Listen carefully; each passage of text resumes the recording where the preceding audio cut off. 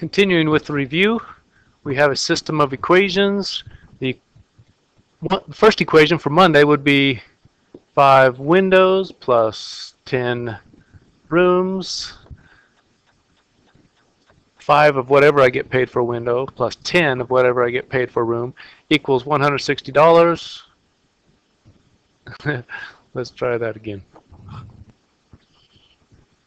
And on Tuesday, we have 8 times whatever I get paid for window plus 2 times whatever I get paid for room equals $88.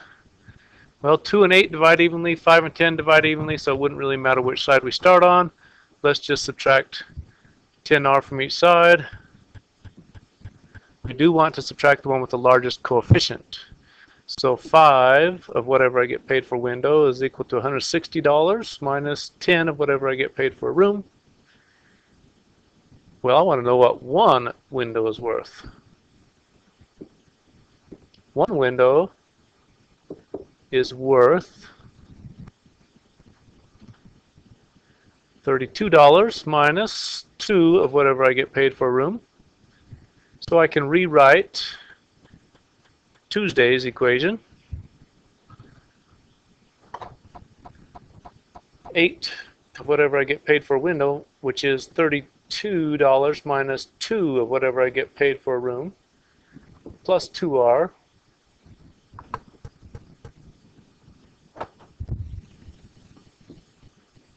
equals 88. 8 times 32, 8 times 4 is 200, 8 times 3 is 240. Or 8 times 3 is 24, so 8 times 30 is 240 plus 16. So that'd be 256 minus 16r plus 2r equals 88. And I combine my two variable terms. that gives me 256 minus 14r equals 88. if I subtract my 256 from each side, then that tells me that negative 14 of whatever I get paid for room equals negative 168. And then dividing each side by negative 14 one room is worth $12. And the question was, how much do I get paid for a window? And a window is worth $32 minus 2 of whatever I get paid for a room, and I just figured out that was worth $12. 2 12s is 24. Subtract that from 32, and you get $8 for a window.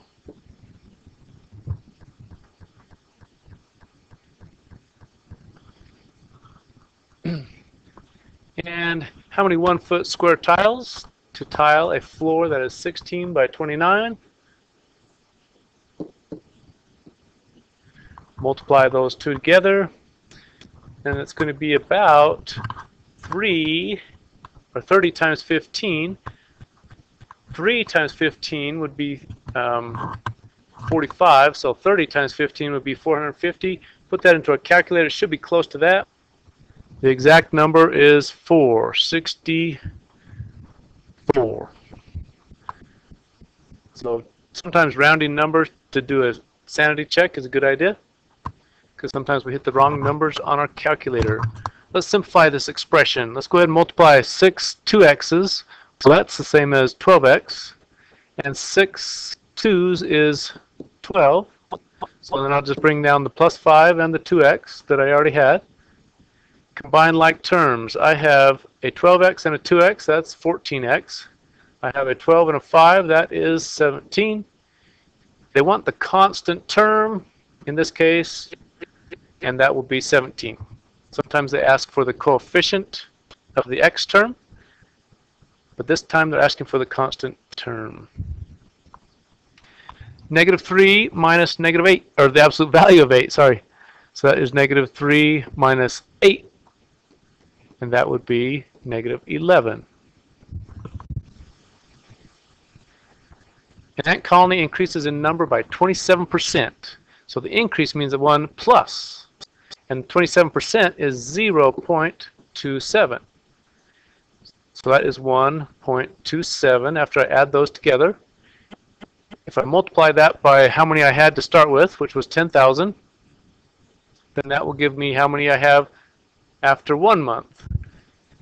But let's go ahead and multiply that, or raise that to the seventh power, so that would be multiplying by that seven times. That number is 53,288 if I round it to the nearest whole ant. Try that on your calculator just to make sure you're using the calculator right. Solving this exponential equation for the starting value. So we'll say y equals some starting value times 1.3 raised to the x. When y is 811, then x is 2. So I just chose that pair. Doesn't matter which pair you choose, but they have to go together. Solving that for v, well, it's being multiplied by 1.3 squared, so the opposite of that is to divide by 1.3 squared. 811 divided by 1.3 squared is 480. Well, that makes sense because it's getting larger by 30% each time, so the starting value is going to be less than 811. We know that much.